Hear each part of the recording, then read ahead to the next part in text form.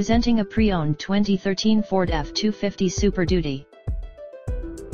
This four-door truck has an 8-cylinder, 6.2-liter V8 engine, with four-wheel drive, and an automatic transmission. This Ford has less than 155,000 miles on the odometer.